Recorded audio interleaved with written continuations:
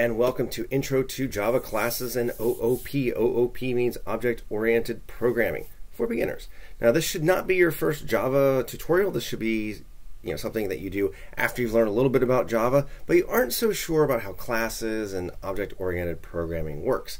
It's aimed at beginners, so we'll just walk you through some of the absolute basics, such as attributes and whether they are public or private, um, a constructor, which is a special type of method that creates an object, and you'll see that soon, and behaviors. These are the actual methods of a particular class, uh, and you'll see that in action as well. And then instantiation is where we actually create some objects. We might jump around a little bit to see how things go, but let's get started. So let's take a look here. First thing I'm going to do is I'm going to go ahead, I'm going to create a new Java class. I'm going to call this class person. Okay. And I'm going to go ahead and create that. I'm going, to hit, I'm going to save this first. And I'm going to go to my desktop, and I made a little folder for this. And I'm going to call this person.java. So I'm going to click save. So notice this says person, this says person.java. So they have to be the same. So first thing I want to do is I want to create some attributes for my person. Now attributes are the quality or the qualities that something or someone has. Now a person can have lots of different attributes. The ones I'm going to look at today are very simple. I'm going to do name and I'm going to do age. Now again, Hopefully this is not your absolute first Java video. If it is, this is not the one to start with. But thinking about a person's name, uh, this data type of that is going to be a string. And I also need to put, for now I want to put public here.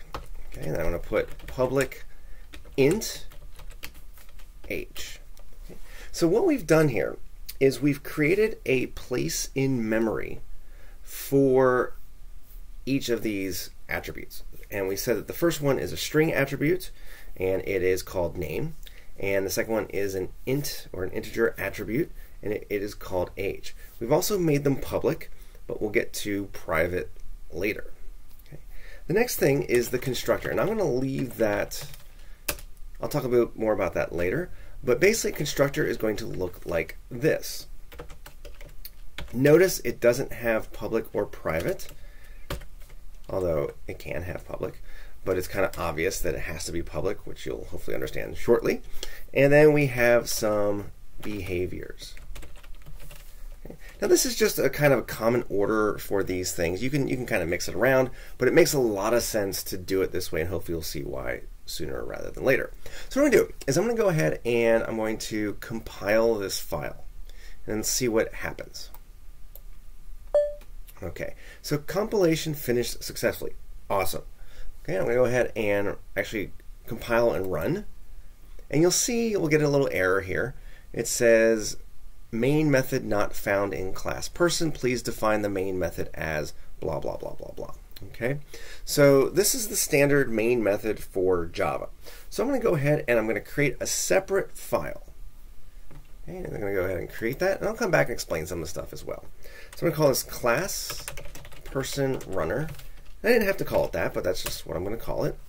And this is where I'm going to put my public static void main oops, string args. And again, this is the standard Java thing.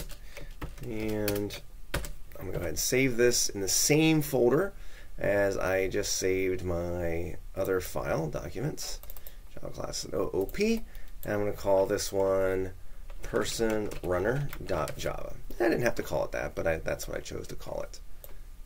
But whatever I called it, this has to match this. Note the capitalization, capital P here, capital R here, and note the capitalization here for person. Okay, so just kind of going back, what I've done is I've created something called a class. And a class is what defines an object, which you'll see in a second. And objects have attributes, and they have behaviors. So I've said that a person, for our purposes, a person is an object with a name and an age. So over here in person runner, what I'm going to do is I'm going to create some objects. So I'm going to say person, and I'm going to say Bob equals new person like so. Now I'm going to go ahead and just compile this and see what happens. I should not get any errors. Now if I run this, nothing happens. Okay, so let's say print, I'm going to go ahead and print the attributes.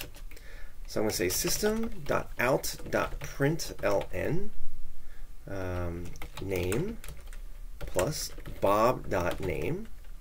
I'm going to say system.out.println age plus bob.age.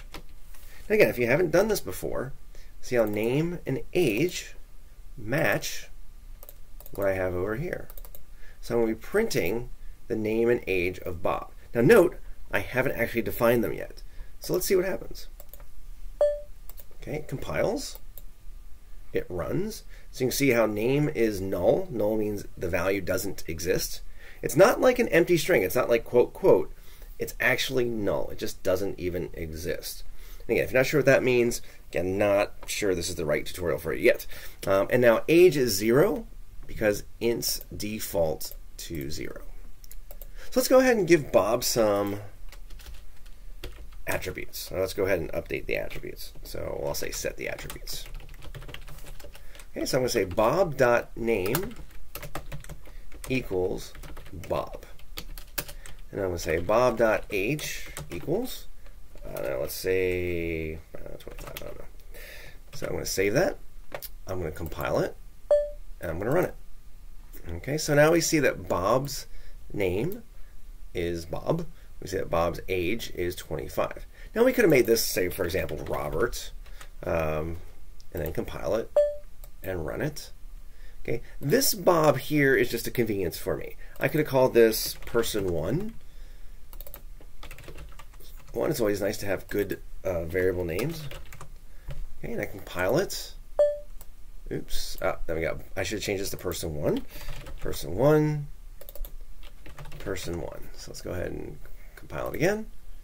And now we have person one is Robert and his age is 25. I'm to go ahead and put this back to Bob. I like that. It's a lot easier for me to remember. Um,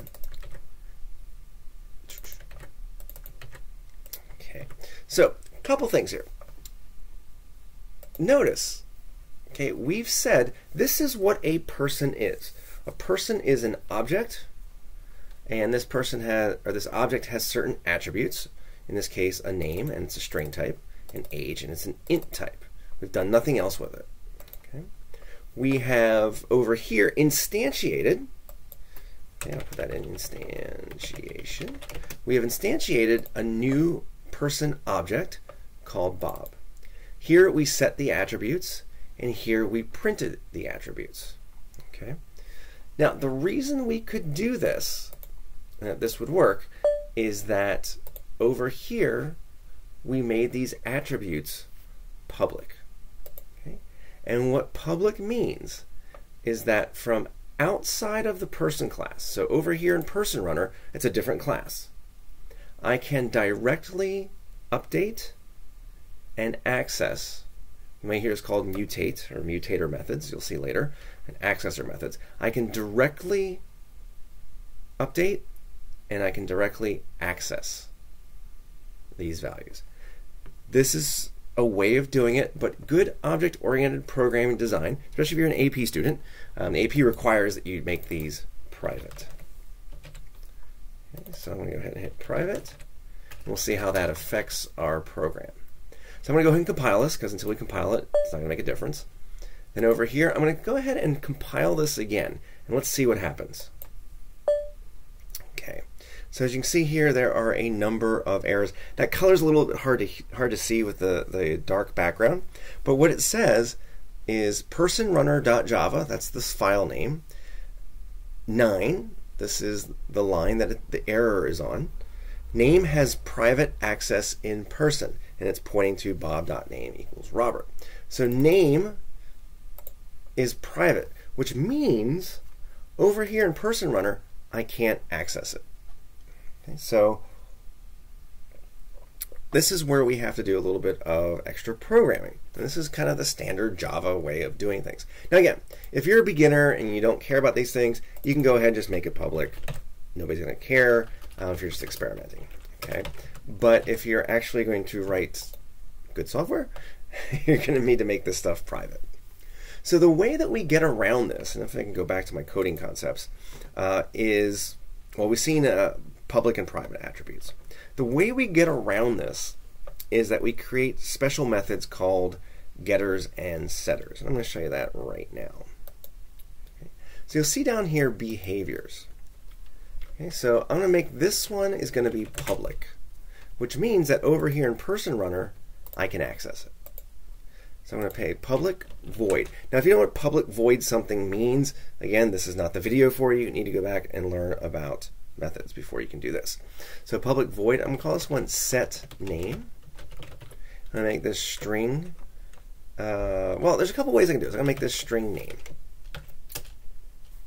And what I'm to do is I'm to say, well, I'm to do it wrong once. So I'm to say name equals name. Okay. Now, if I try to compile this, what's going to happen? It actually worked. Who knew? Um, that was not what I expected. Um, I'm just going to put this back here because we'll see that one later. And I'll explain how this one works. Um, let's go ahead and compile that. Okay. So this is a special keyword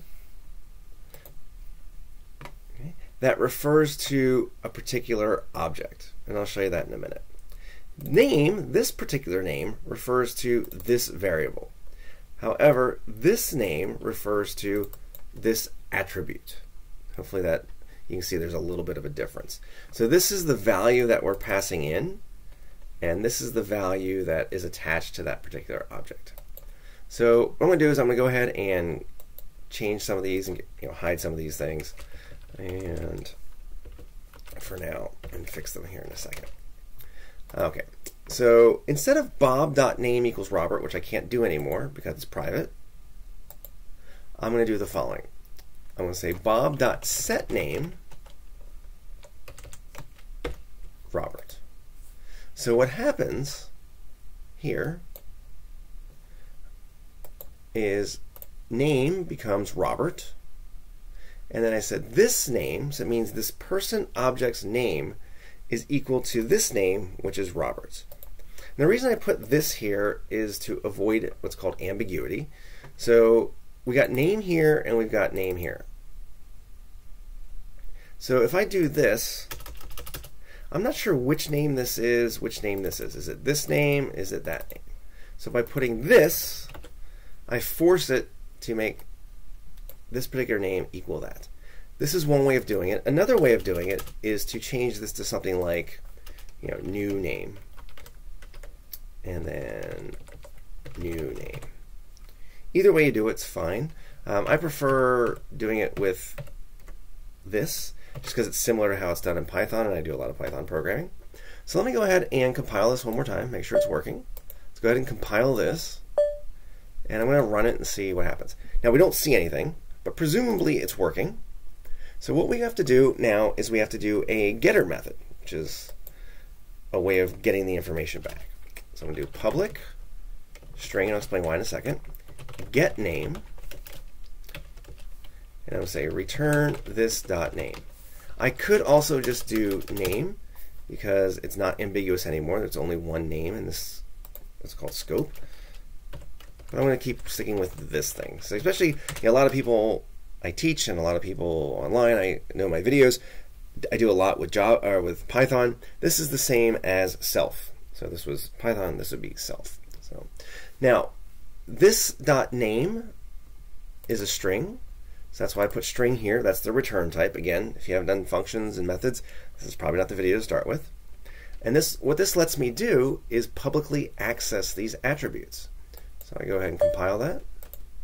And then over here, I'm going to say bob.getName. Okay, so I'm going to go ahead and compile it. I'm going to run it. And now we can see name Robert. So notice we are not directly accessing this string because it's private. We are directly accessing this method because it is public. So that is the difference between public and private. Okay. Now again, as I mentioned, I could have done name here. because this name is the only one, and it refers to this name. Now, interestingly, this is private. Okay, but because I'm inside the same class, I can directly access this value. I'm going to go ahead and put this here anyway. Okay, so this this is only used inside of a particular class to access that class's attributes. Okay, so let me do this one more time. Um, okay, so what I did here was I created a new person object called Bob. And it's a new person. This is blank. I'm going to explain that in a minute. I have set the name and I have printed the name by using the set here and the get here. let's go ahead and do the same thing for age. Now notice the pattern. Setters are void because they don't return anything. So public void set age int age. Again, you just got to memorize the pattern. This dot age equals age. Okay, and then public int get age blank or empty is return this dot age. Again, don't forget to compile it. Now I'm using Geany. You might be using something different, but this is what I tend to use. And then I'm going to go ahead and do the same thing. Say bob dot. Not shift. Set age. Note it's not equals, it's parentheses. And then I'm going to do system.out print bob.get age. Okay, so let's compile that, run it, and you can see it works exactly like it did the first time when name and age were private. So, so far, we've gotten the absolute basics of a class, attributes, and some basic behaviors. In this case, setters and getters. Okay, so setting the the value of a particular attribute. Um, the attributes again are private, so we can't access them directly. This is good object-oriented programming uh, standards. And then we have getters, which allow us to pull that information back. So we've covered quite a few things here. Uh, we've we already done attributes. We talked about public versus private. We've done behaviors such as getters and setters, and note they are public. We've done instantiation. Now we're going to look at constructors. Now these two concepts, constructors and instantiation, are kind of related. Um, and a constructor is a special type of method that is called one particular time. So when I create an instance, so when I create this Bob instance, this constructor method is called. I'm going to show you that here. So I'm going to say system.out.print I am a constructor. Dot dot dot hear me roar. Okay. Okay, I'm going to compile it. Okay, I'm going to come over to here and I'm going to compile this again just for good measure and I'm going to run it. Okay, so you see what happened here. I am a constructor, hear me roar, name Robert, age 25. Did I put print or print line? Uh, print. Okay, let's go ahead and do that one more time so it's a little more clear. So when I run this and I create an object, this special method is called. And that is why you're going to see that extra line of text printed. Okay, I am a constructor, hear me roar and then everything else works exactly the same. Now, of course, we probably wouldn't do this. Okay? But what we would do is something like the following. We can, we, we can leave that there. But I'm going to put a second constructor. And I'm going to call this string name int age. I'm going to say this dot name equals name. This dot age equals age. I'm going to compile it.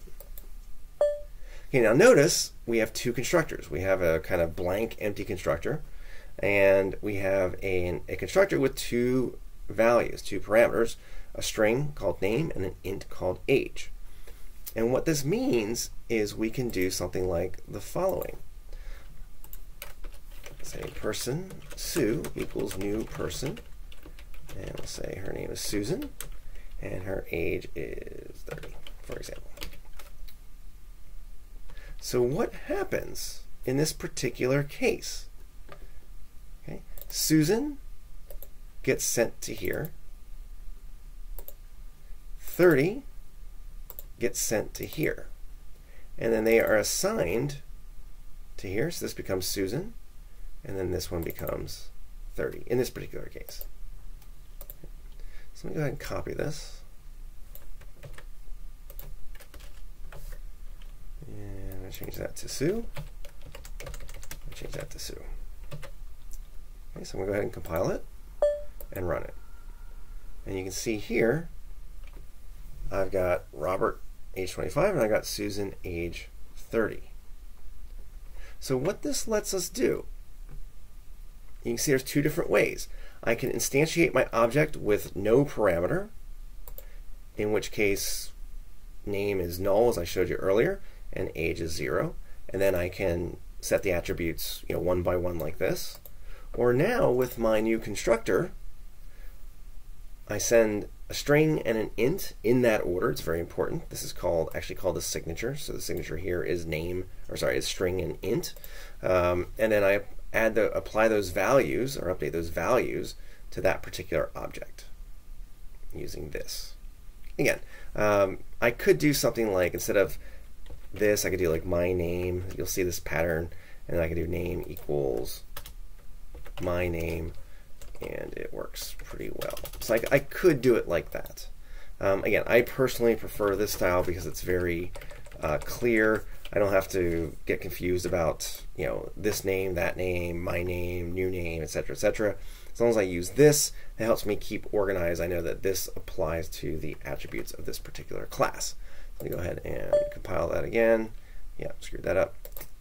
It helps me avoid stuff like that. So let's go ahead and compile it. And over here, you can see how now we have different ways of instantiating a particular object. Okay. Now I could also do something like this. Um, get a little bit lazy here. Um, I could do this. I could just get rid of that.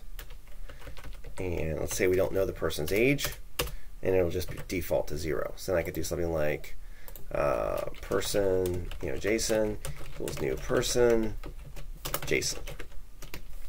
Oops.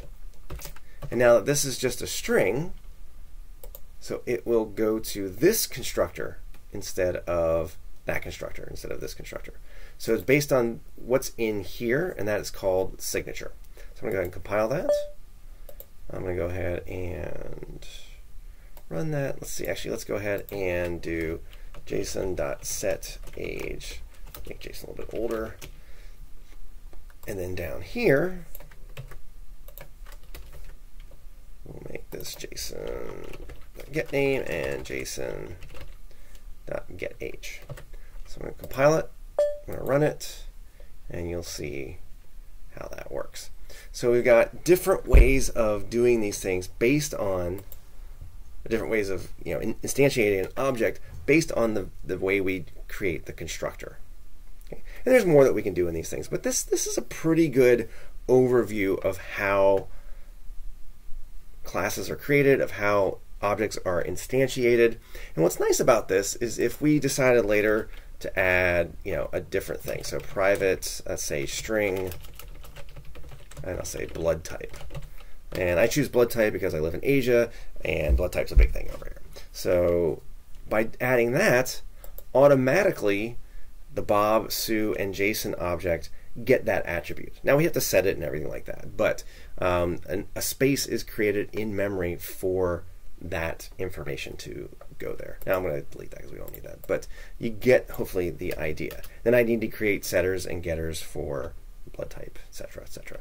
And then I could start playing with the signature here in the constructor, adding blood type, etc., etc. As you notice, I like the word etc., etc. Um, so let me just go back to the coding concepts. And so what we looked at today were attributes of a class, public versus private. And again, you can have public attributes, it's just not considered good object oriented programming practice, um, especially if you're an AP student. uh, the AP expects you to make your attributes private, and they do take off points for that. Um, so be careful there. Talk about constructors. Constructors can have no arguments. They can have one argument. They can have two arguments, however you want to do it. Behaviors, and we looked at setters and getters today. And we can, of course, have other you know other methods, uh, other behaviors. That's that's what makes object-oriented programming very powerful. But uh, yeah, that's something we looked at today. And just try to, and also we looked at instantiation, which is creating objects. But one thing, just keep in mind, there's a certain pattern for these things. So attributes, private, type, name. Um, private, type, name. Constructor, we can have an empty constructor, like kind of the default constructor with no attributes. Uh, we can have you know one attribute or one parameter sent to it. We can have two parameters. It's really up to us as a programmer what we want to do. And then the behaviors, generally speaking, we have setters and getters for most of our attributes. And this, again, this is the Java standard way of doing things. So anyway, hopefully that gave you a little bit of an idea of how object-oriented programming works. Um, you may not get an idea of exactly how you want to apply it, but this is the format for a basic class in Java. Okay, so notice we didn't use static here uh, because static doesn't really work with objects. It has a different usage.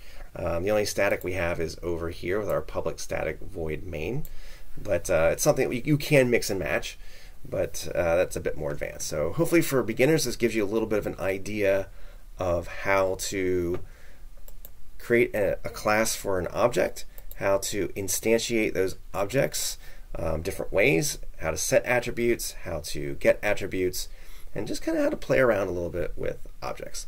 So hopefully in part two, I'll get to someday, um, we'll talk a little bit about uh, inheritance and, and, a couple other things that you might need to know.